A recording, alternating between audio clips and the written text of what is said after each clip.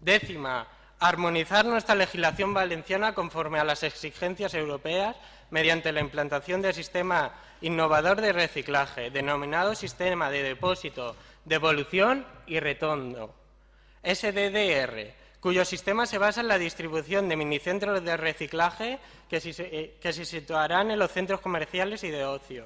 Con esta medida volvemos a incentivar, volvemos a incentivar el reciclaje, por medio de incentivos de valor económico a cambio de material reciclado destinado a un uso o a múltiples usos.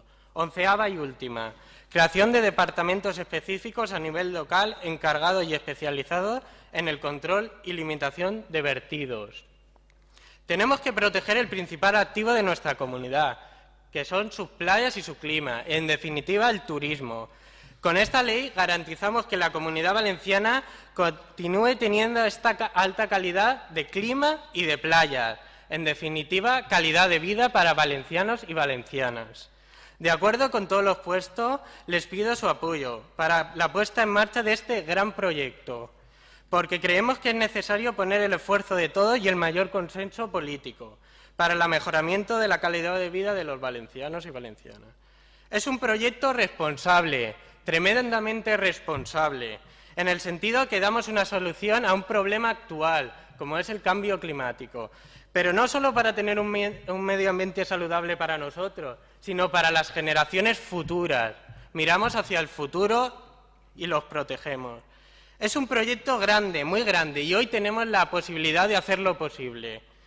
Con base a todo lo anterior, solicito a todos los grupos parlamentarios aquí presentes que me otorguen su confianza, para ejercer el, cargo de presidente de la Generalitat. Muchas gracias.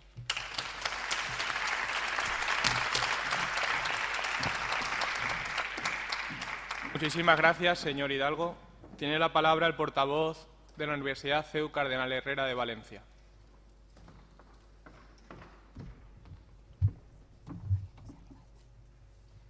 María Luisa, doña María Luisa Ribalta. Gracias, señor presidente. Señorías, buenos días. El científico Albert Einstein dijo que era más fácil desintegrar un átomo que un prejuicio, y no iba desencaminado. Pues desintegrar el prejuicio de que el cambio puede traer consecuencias negativas para unos intereses determinados es muy difícil. Y si hay algo en nuestro ordenamiento jurídico que presente mayor resistencia al cambio, sin duda, ese es nuestro sistema electoral. Esta resistencia al cambio se explica porque los elementos del sistema electoral son normas materialmente constitucionales que requieren de amplios consensos para aprobarse. Y precisamente en nuestro país, desde hace varios años, no es con lo que más contemos, con consensos. Y además, estas leyes electorales son elaboradas por los partidos parlamentarios, leyes gracias a las cuales estos partidos han logrado llegar al Parlamento. Por ello, no resulta inusual que las críticas a un sistema electoral vertidas desde la oposición se diluyan una vez estos partidos alcanzan el poder. En el momento de elaborar la legislación en materia electoral, plasmada en la Ley Orgánica 5-85 de régimen electoral general, el legislador optó por un sistema uniforme para todo el territorio nacional, en el que se primara principalmente y ligeramente a los partidos mayoritarios, y se fortalecieran las organizaciones partidarias en aquellos momentos endebles. Pero ahora, más de 25 años después de la promulgación de esta ley, ¿realmente existe esa necesidad de fortalecer las organizaciones partidarias en bloque? ¿O más bien lo que queremos y de verdad necesitamos es un mayor pluralismo político y parlamentario, que exista una diversidad de opiniones, de modo que verdaderamente el Parlamento Autonómico Nacional sea un altavoz de ese preciado interés general. Si nos acercamos a la actualidad, nuestro Estatuto de Autonomía hace constantes referencias a la Ley Electoral de 31 de marzo de 1987, creada con el objeto de regular las elecciones a diputados en las Cortes Valencianas. Pero dejando al margen las modificaciones del número de 89 diputados del Corts que establece la Ley Electoral Valenciana actualmente mientras que la modificación del Estatuto por la Ley Orgánica 1-2006 establece un número mínimo de 99, desde nuestro grupo parlamentario proponemos un paso hacia adelante. en las, cuestiones que de verdad importan en materia electoral, en el ámbito de nuestra comunidad. Proponemos la ley para la democratización del sistema electoral y de partidos de la Comunidad Valenciana, cuyos ejes principales son los siguientes. La modificación de las listas electorales de los partidos para que sean abiertas, de modo que los ciudadanos puedan ser más libres a la hora de elegir a sus representantes. Así también supondría un ejercicio del voto más responsable, puesto que los ciudadanos procurarían informarse bien a la hora de elegir a aquellos que les van a representar. Por otro lado, proponemos la modificación de la circunscripción electoral. Nuestro Estatuto de Autonomía, en su artículo 24, establece que la circunscripción electoral será la provincia.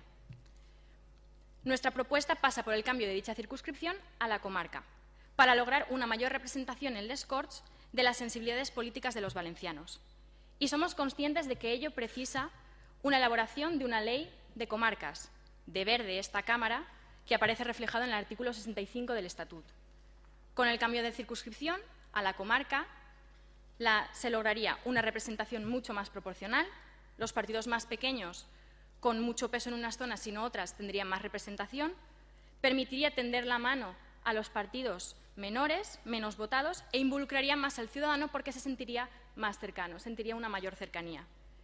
Por otro lado, proponemos también una rebaja de la barrera electoral, autonómica al 2% para permitir un mayor peso de los partidos que alcanzan un porcentaje de votos válidos considerable, pero no suficiente para rebasar esa barrera electoral actual del 5% en nuestra comunidad autónoma. Proponemos también la mejora de la regulación de las campañas electorales. Bien sabemos que el nivel autonómico y local es el, mayor, es el más cercano al ciudadano, pero de la misma forma también permiten una acción un tanto más discrecional. Por ello, pretendemos una regulación a nivel de las campañas electorales, de la misma manera que proponemos una regulación más exhaustiva del tiempo de publicidad en los medios públicos para garantizar el artículo 6 de la Constitución española que, que propugna el pluralismo político. Un hombre, un voto, decían las primeras consignas, que reivindicaban el derecho de voto de sufragio personal y no estamental en el siglo XVIII.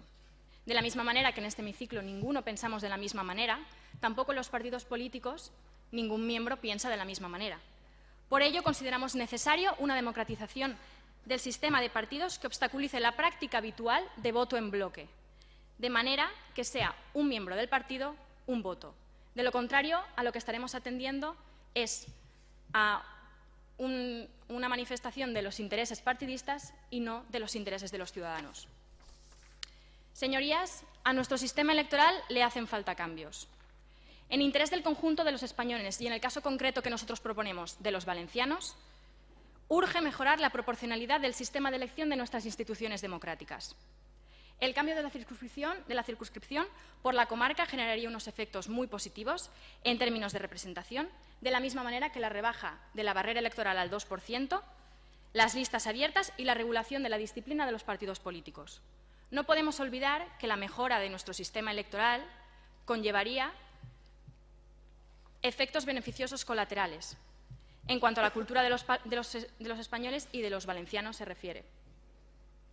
Modificar el sistema electoral renovaría el espíritu democrático. Con estas reformas, todos los grupos parlamentarios, da igual el signo o el color, salimos ganando. Muchas gracias.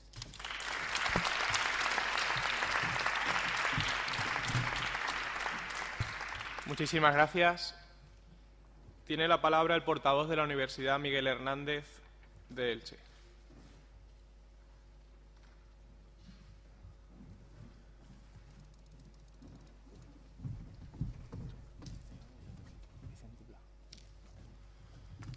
Tiene la palabra don Vicente Pla. Muchísimas gracias, señor presidente. Eh, senyories, el meu nom és Vicent Pla, soc de la Universitat Miguel Hernández d'Els, en concret de la Facultat de Ciències Socials i Jurídiques d'Orihuela, i estudie quart de Ciències Polítiques. Senyor president, senyories, som titulars eh, de la responsabilitat de donar resposta legal a les inquietuds dels nostres representats, que han depositat la seva confiança en nosaltres, esperant que les seves expectatives es vegin satisfetes i que apleguen a bon terme. El nostre interès no és altre que donar causa legal a unes expectatives que a la vegada són, es converteixen en exigències dels nostres representants.